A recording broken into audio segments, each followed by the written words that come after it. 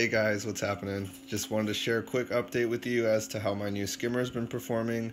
Uh, before I had a modified version of a Cadlites PLS50. It happened to be working just fine, but the only issue was that I had to adjust it and mess with it almost every three days, and it was just becoming a pain. So I heard Innovative Marine came out with a new updated version of their Nuvo skimmer. So I was hesitant at first just because of, you know, some older reviews on the older model, but went ahead, pulled the trigger. I do not regret it. Long story short, this skimmer happens to be pretty dang quiet. Uh, it's not as loud as my last skimmer.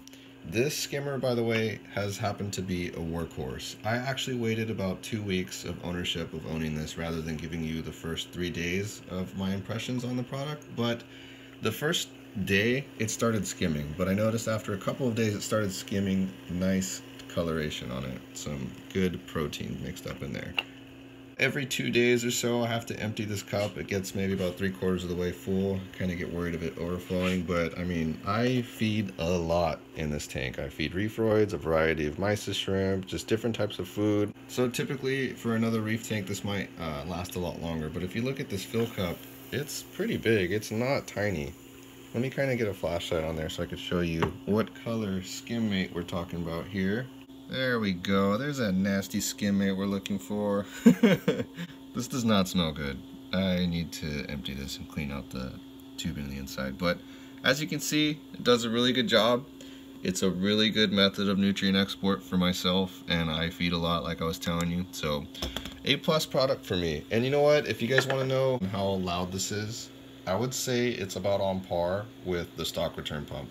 I happen to sleep next to this tank, so, you know, a loud skimmer would totally bother me at night. I wake up to anything, so definitely give it an A on the sound bar. And uh, in case you guys are wondering how you make adjustments, you actually move this rubber band up and down to make the skimmate skim more of a wet or dry style.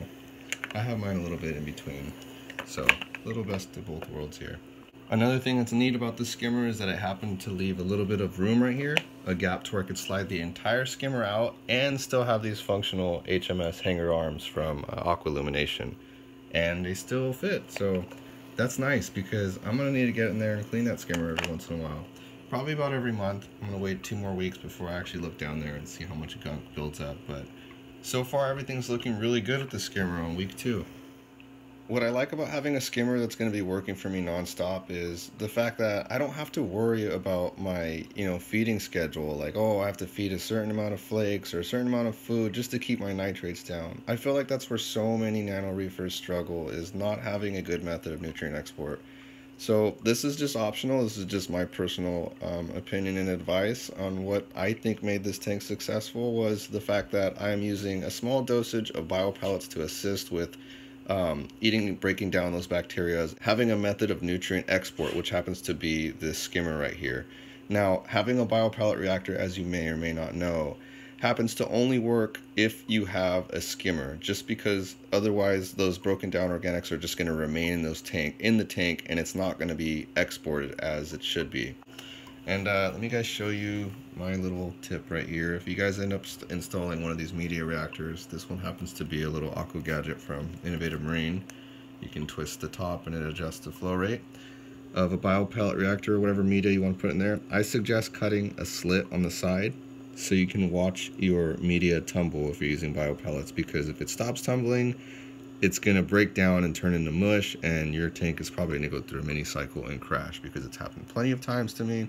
So just always make sure to keep these things maintenance um, you definitely want to check on these every other day if you're going to plan on using bio pellets. And like I was saying earlier I use a small dosage of bio pellets because I'm not relying on it 100% to keep my nutrients in check. I just rely on it as an assist to my you know method of nutrient import export. So if you guys are going to go and use biopellets, I highly suggest using at least a third of what the actual bottle or container suggests to use because I used the exact amount that they recommended in the beginning and I noticed my tank was too clean. Like corals were not happy and things were not doing well. And I noticed when I started using less, I started seeing better results with my corals. And just since I have a mixed reef, it's kind of hard to balance out the two, keeping the SPS and the LPS happy. But I figured doing a third happened to be my best results here. And also I have a little refugium back there uh, that helps as well. That refugium will not work if I am using a high dosage of bio pellets. So it's kind of in the middle. I don't know if it helps with my pH as much as people claim, but I mean, I just have it just because you never know, it might help a little bit more. well guys, that's just gonna about do it for my little update here. I appreciate you guys tuning and watching these videos. I'm really happy again with the skimmer and it keeping up with all my needs for my feeding schedule and basically just the consistency of the product. I'll update with you guys in the future, and let you know how it's still working in other videos. But so far, so good. Definitely recommend it. If you have this tank or if you have a nano tank that has maybe the same real estate back there, I highly suggest getting this skimmer because there are not many, if any, skimmers on the market that skim like this. So Thanks, guys. Thanks for watching. Tune in for the next video as I update my INT system. See you guys till next time. Bye.